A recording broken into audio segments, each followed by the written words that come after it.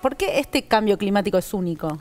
Bueno, mira, eh, yo en el programa anterior les había contado un poquito de los cambios, de qué era el cambio climático, el calentamiento global, la variabilidad climática, eh, y también les había contado de que eh, este cambio climático solamente podía ser explicado a partir de la actividad humana. ¿sí? Podíamos llegar a las temperaturas actuales solamente si incluíamos el factor de toda la emisión de gases de efecto invernadero que el ser humano estaba generando desde la era preindustrial, ¿sí? desde 1850. Exactamente, y continúa todavía, lamentablemente. Em, bueno, pero eh, muchos escépticos del cambio climático se eh, agarraban de la idea de que antiguamente había habido otros cambios climáticos. Y es así, ¿no? Este, este no es el primer cambio climático. Claro, hubo fluctuaciones a lo largo de que la Tierra es Tierra, me imagino. claro, hubo varios. Incluso en los últimos eh, 2000 años eh, hubo al menos cuatro cambios climáticos. ¿En los últimos 2000 años? En los últimos 2000 años ah. hubo cuatro variaciones de temperatura muy grandes que han logrado identificar.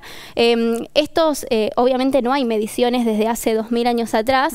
Eh, estas eh, fluctuaciones en las temperaturas se determinan a partir de estudios en eh, glaciares, en anillos de árboles, en ah, sedimentos de... en las piedras, en los sedimentos en fondos de lagos. En las burbujas esas que quedan atrapadas en la Antártida. Eh, claro, en, el hielo, sí. Bueno, se sacan vestigios de hielo, ¿sí? Unos tubos muy largos de hielo y eso se analiza a ver cómo era la composición de la atmósfera en ese momento y qué es lo que estaba ocurriendo.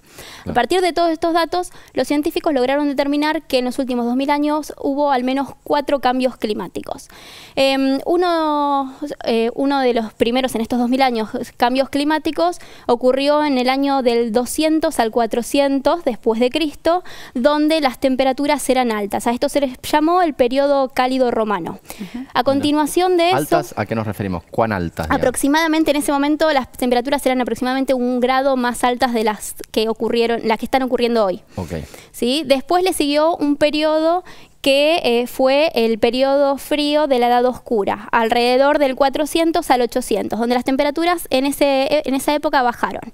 Se cree que este, esta variación de temperaturas eh, influyó mucho en las civilizaciones de esa época, porque em, el desarrollo de la civilización romana se dio desde el 100 antes, del Cristo, de, antes de Cristo hasta el 200 aproximadamente después de Cristo, donde fue una época... Este cambio. Donde empezó este cambio, donde fue una época eh, que el clima estaba muy estable Después, cuando empezó a aumentar las temperaturas, empezó a haber algunos eh, problemas, ya las cosas no, no, se desarrollaban tan rápido en las sociedades, y cuando empezaron a bajar las temperaturas en esta edad oscura, eso propició la invasión al imperio romano. ¿sí? Porque las civilizaciones más al norte empezaron a tener eh, inviernos, sobre todo muy, muy crudos, y ya no podían sobrevivir donde estaban. increíble, todo está conectado con todo. Entonces, claro, el clima de esa época. Entonces, eh, bueno, esto se cree que fue una de las, por supuesto debe haber habido un montón de razones más, pero esta razón fue muy importante para eso, ¿sí? Porque el frío no los dejaba alimentarse. Pero sin duda las dos eh, variaciones climáticas más importantes fueron eh, lo que se llamó el periodo cálido medieval, que ocurrió alrededor del año 800, del 800 al 1200, y que después le siguió una de las, eh, una de las etapas más estudiadas, que es la pequeña edad de hielo. En la pequeña edad de hielo, las temperaturas eran casi 4 grados más bajas que la que tenemos. ¿4 grados? Claro. Acá yo les traje una foto. Pero eso, fue entre 1200 y cuánto la edad de la pequeña Desde el 1200 se cree que todo el periodo duró, se le da fin alrededor del 1800, cuando empezamos con el calentamiento actual. Ah, Pero de, alrededor del 1300, 1400 fue quizás cuando se dieron las temperaturas más bajas. Em, en esta época, sí, yo acá les traje una pintura, era muy común encontrar este tipo de pinturas o bien la literatura que hablaba sobre paisajes de Europa, incluso también de Norteamérica, completamente blancos, donde en Europa los principales ríos estuvieron completamente congelados. ¿Sí? la gente patinaba sobre los, ríos, un paisaje que hoy es impensado. Claro, es que cuatro grados es un montón. Es un montón. Y entonces empezaron a estudiar los científicos de em, eh, qué es lo que puede haber originado este descenso de temperatura tan abrupto en eh, esta pequeña edad de hielo. Y encontraron que se dieron dos factores naturales, ¿sí? que fueron muy importantes para este descenso de temperaturas. Uno de ellos fue el, eh, las manchas solares, ¿sí? se dio un mínimo de actividad solar. Eh, hubo alrededor un poco más de 70 años donde prácticamente el Sol no tenía manchas y entonces la cantidad de radiación Claro, que llegaba a la superficie de la Tierra era mucho menor y esto ayudaba a que las temperaturas vez, bajen. otra Porque vez. las manchas, cuando más man si hay más manchas, llega más temperatura a la Tierra. Exacto. Ah, no, Llega. intuitivamente pienso que es al revés, porque la mancha es menos actividad.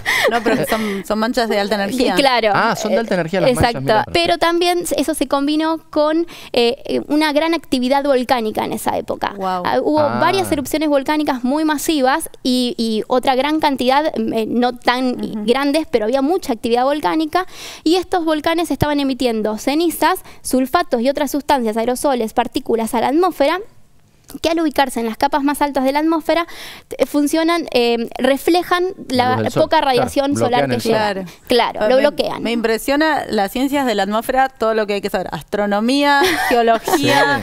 y acá un poco de historia también. Historia, o sea, se habló de un mundo. La meteorología se relaciona con todo. Me encanta. Eh, bueno, así que se dieron todos estos factores que ayudaron y favorecieron a este descenso de temperaturas. Estos cambios en, en las temperaturas, hasta no hace mucho, se creía de que habían ocurrido en todo el globo. Pero ahora los nuevos estudios muestran que no fue así, que los anteriores cambios climáticos solamente se daban en algunos sectores del globo. Y además de darse en, al- en- en varios continentes o en varios sectores, tampoco se daban simultáneamente. Y esto lo estudiaron con esto que yo te comentaba, de estudiar los anillos de árboles, sedimentos, Sí. se daban cuenta de que las épocas no coincidían y que había muchos lugares donde estas diferencias de temperaturas no se evidenciaban. Claro. Entonces, otra de las causas, otra de las principales causas de que este cambio climático se diferencia de los cambios climáticos anteriores, perdón, es principalmente la extensión que está Claro. teniendo este cambio climático que cubre casi el 98% del planeta y también la rapidez con la que está aumentando la temperatura. Antes eh, em, estas, eh, las temperaturas aumentaban aproximadamente medio grado en, en un por siglo Claro. y ahora ya en un siglo aumentaron casi el doble. ¿Sí? Claro. Entonces, estamos teniendo ahora eh, un cambio climático que es mucho más extenso y mucho más veloz que los cambios climáticos que ocurrieron en el pasado, que eran netamente producto de la naturaleza. Exacto, Claro. claro. Claro, ahora no podemos adjudicarle la causa ni a las manchas solares. Claro, cada vez encontramos más cantidad de evidencias. Eh, hay cada vez hay más cantidad de evidencias de que lamentablemente el ser humano es el que causa todo esto. Y que es a nivel de todo el planeta. De todo el planeta nos está afectando hoy. Pero además también algunos científicos muy curiosos se hicieron esta pregunta, ¿sí? los que, eh, eh, los- sobre todo los que, los que hacen geoingeniería, que es la ciencia que intenta buscar soluciones para eh, eh, luchar contra el cambio climático. ¿sí? Bueno, dijeron, bueno, si las cenizas volcánicas nos ayudaron en el pasado, No, no, podemos hoy podríamos... tirar cenizas a la tierra y que- Después discutimos el método, sí. cómo lo hacemos, Sí. pero ¿qué pasaría si cubrimos el planeta con, con cenizas de alguna forma? ¿Lograríamos volver las temperaturas a lo que fueron en la era preindustrial? Bueno, hicieron Una simulación. una simulación, exactamente, te iba a decir, no podíamos mal, hacer... porque si hacían el experimento, capaz que se les iba la mano Claro. y terminábamos con una era glacial. Como les expliqué la otra vez, los meteorólogos no podemos hacer los experimentos en la atmósfera, tenemos que utilizar computadoras. Bueno, entonces hicieron simulaciones donde eh, vieron dos casos por separado. Por un lado, lo que intentaron recrear fue eh, una un pulso, una erupción volcánica muy intensa, un único pulso, y ver qué pasaba y cuánto tiempo tardaba hasta que la temperatura vuelva a, a los niveles normales. En un segundo caso, eh, lo que probaron es emitir de forma constante un pulso bajo, pero mm, constante, ¿sí? sin, Claro. sin que pare. A ver qué es lo que se lograba. En los dos casos encontraron que lograban en un lapso aproximadamente de dos años, un poquito más, un poquito menos, pero más o menos en dos años lograban volver las temperaturas a lo- las eras Bien. preindustriales. Muy Ah, bien. Y entonces, Pero Pero jugar con el clima tiene sus consecuencias y esto no eh, eh, tenía eh, efectos secundarios, ¿sí? Y era que em, las eh, diferencias de temperaturas bajaban mucho más, en, había un mayor descenso de temperatura sobre tierra que sobre el océano. Claro. Ah. Y esto modificaba lo que es el, el ciclo hidrológico, ¿sí? Y entonces, al hacer este tipo de experimentos, lo que veían es que está bien, las temperaturas volvían a sus niveles normales, pero el ciclo hidro- hidrológico cambiaba y había y sobre tierra empezaba a haber menos precipitaciones. Entonces, logramos reducir un montón de fenómenos, ¿sí? porque ya no tendríamos el, el- el cambio climático, pero la lluvia, el agua, un recurso tan preciado, iba a empezar a ser escaso en un montón de, de países. Claro. Claro, ¿sí? claro. Entonces, es, no es tan bueno. ¿Tenés unas fotos al respecto de Sí, eso? claro. Em, les, les quería mostrar de lo que es Sí. una erupción volcánica, Wow. porque acá Claro. es eh, una gran erupción como emana las cenizas y estas cenizas eh, Son ingresan que- muy, muy alto en la atmósfera, ¿sí? Claro. Ah. Entonces Estas son las es que bloquean la luz del sol, digamos. y Exactamente, no- sí, y eh, si bien el volcán está en un, en un lugar, en la atmósfera alta los vientos son muy, muy intensos y prácticamente rodean el planeta. Entonces, en un lapso de dos años, este único pulso eruptivo y va a terminar cubriendo la atmósfera de, de todo el planeta si es muy, muy intenso. Que de hecho es lo que ha ocurrido en- antiguamente En porque otras- hay, claro, hay algunas erupciones volcánicas que han sido muy, muy intensas y de hecho se ha notado cuando uno ve los registros de temperaturas, ve un leve descenso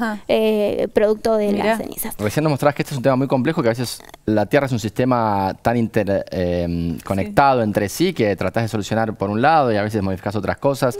Claro. Sobre esto, un tema muy actual es el tema del Amazonas, eh, el incendio del Claro. Amazonas. ¿Podés comentarnos mínimamente antes de irnos cuál es la Sí. importancia de lo que está pasando? Claro, sí, hay eh, en todo esto de la lucha contra el cambio climático no tenemos que olvidarnos, sí, que yo acá les voy a mostrar que traje eh, una de las eh, máquinas más eficientes que tiene la naturaleza para luchar contra el cambio climático, que son las plantas. El cambio climático que estamos viviendo, el calentamiento global, es principalmente por la emisión de algunos gases particularmente el dióxido de carbono, que es uno de los que más contribuyen al calentamiento del, del planeta. Los árboles eh, lo que hacen es secuestrar el carbono, ¿sí? Lo Claro. sacan de la atmósfera, lo mezclan con agua, con energía del sol y crean su propio alimento que lo almacenan dentro de las plantas. Entonces, están ayudando porque están sacando de la atmósfera, ¿sí? Este, Claro. este dióxido de carbono. Además, cuando las plantas mueren, parte de este, mm, eh, de este carbono, una pequeña parte de este carbono vuelve a la atmósfera, pero otra parte es eh, se deposita en el suelo. Dentro del suelo hay algunos organismos vivos que se alimentan de la madera del árbol, que es donde están estos carbonos. Eh, y bueno, lo- se alimentan y luego cuando defecan se mezcla con otros nutrientes, otros minerales del suelo. Esas partículas de carbono se eh, reacomodan, se, se crean unos enlaces mucho más estables y queda durante años, siglos, miles, milenios Sí. almacenado en el suelo y no está en la atmósfera. ¿sí? Entonces, tanto los suelos como los árboles son de las mejores máquinas que tenemos eh, para la lucha del cambio climático. Em, entonces, en el tema del Amazonas, lo que está ocurriendo es que estamos matando estos árboles, Claro, que durante bueno. todo el tiempo que estén vivos, están contribuyendo, todo el tiempo están secuestrando carbono. Entonces, Sí, cuando... sí mismo reforestar sería una de las posibles estrategias para luchar contra el cambio climático. Eh, sí, pero hasta que vuelvan a absorber todo el Claro. dióxido de carbono, pasarían un montón de años y nosotros continuamos emitiendo, emitiendo dióxido de carbono en todo este tiempo. Entonces, es eh, el tema del Amazonas es un tema realmente muy preocupante porque además ni siquiera los estamos dejando que, Claro. eh, que pasen a formar parte del suelo. Tengan en cuenta de que en el suelo hay casi tres veces más em, carbono que el que hay en la atmósfera. ¿sí? Es un, un reservorio gigante de carbono. Está todo almacenado ahí para que no esté mm, contribuyendo al cambio climático.